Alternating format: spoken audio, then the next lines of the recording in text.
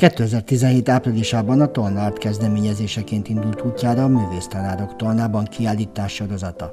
Az első az, akik előttünk jártak címet viselte, és olyan alkotók műveit mutatta be, akik már nem voltak akkor az élők sorában. És ezúttal a két rangidős tanára Bonyhádi Kovács Ferenc és a Faddi Molnár Mózsi György alkotásai kerültek a falakra. Róluk, illetve a barátságokról beszélt köszöntő beszédében Méri Éva, a Művészetek Háza egykori igazgatója. Minden esetre azért egy vallomással tartozom mindkettőjüknek, meg itt a terembe ülő embereknek is. Ugyanis én világéletemben a művészetek kedvelője voltam mindenféle művészeti ágnak.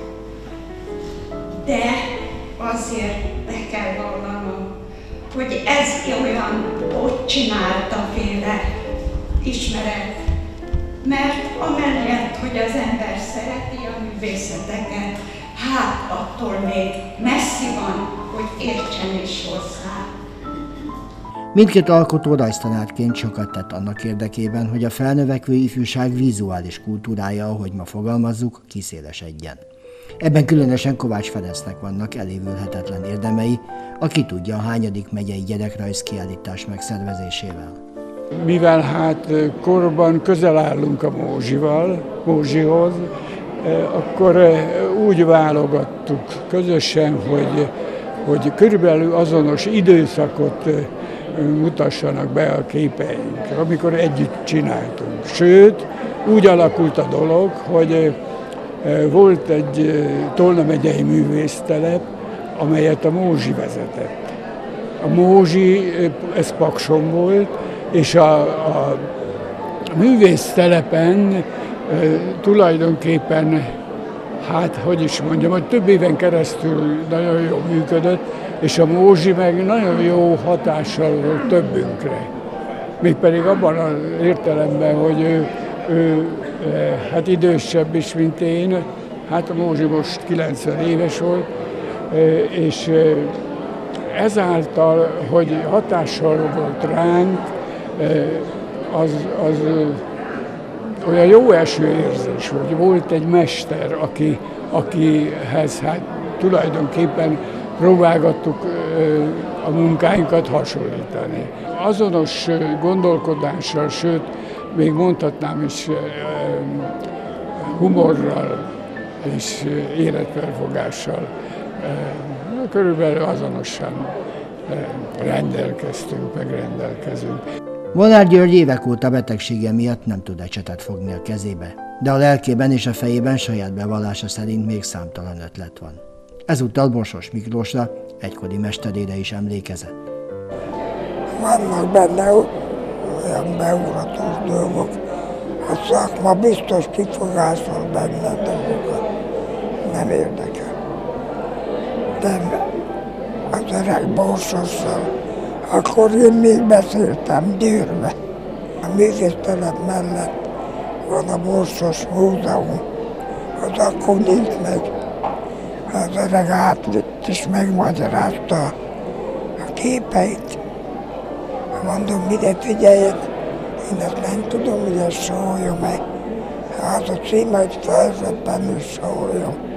De nekem egy nagyon jó madár és az egész év, ezek az évek, ez tetszik, megfosztom. Az idén 90 esztendős Molnár Mózsi Györgyről Baki Péter festőművész azt mondta, meg volt benne a lehetőség, hogy ne tanárként, hanem elismert festőként alkosson. Ő benne olyan mélységű festészeti indulatok vannak, ami, ami ritka. Érdekes, hogy, hogy ez a, a, a Mózsi művészetének az első időszakában jelenik meg. Később, amikor a hagyományosabb festészet felé fordult, akkor ez számomra már nem, nem jelenik meg, de ez mondom, ez az én magán véleményem. Egy művésztanárnak épp olyan nagy szüksége van a bemutatkozásra, egy kiállítás megnyitására, egy kiállítás rendezésére, mint bármelyikünknek, akik nem tanárként prosperálunk, úgyhogy szerintem ez, ez egy fantasztikusan jó dolog. és örömmel, én, én magam örömmel veszem, hogy, hogy ez egy sorozat kezdete, közepe, nem tudom, de, de remélem, hogy ez folytatódni fog.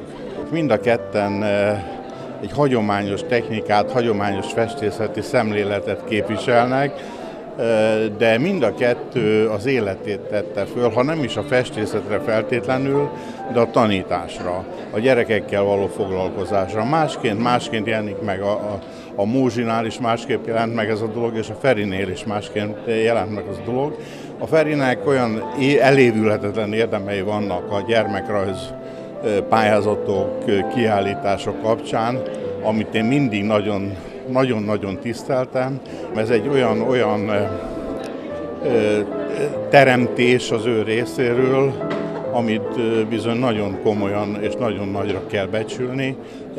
Szerintem nem, nem kapja meg azt a megbecsülést ez a fajta tevékenység, ami megilletné, de hát ez egy ilyen világ, ebben élünk. Minden tud erről a szakmáról, az, hogy mennyi ideje van, meg mennyi ideje volt ezt csinálni, mennyire tudott elmélyülni benne, ez egy más kérdés. Ugyanez a helyzet a, a Mózsinál is egyébként, úgyhogy ez mind a kettőkre elmondható. A Mózsi talán többet, nem talán, a Mózsi többet tudott ezzel foglalkozni, ő egy kicsit többet adott a művész vénájának, többet adott a művészetnek, a Feri inkább a tanításra szentelte az életét.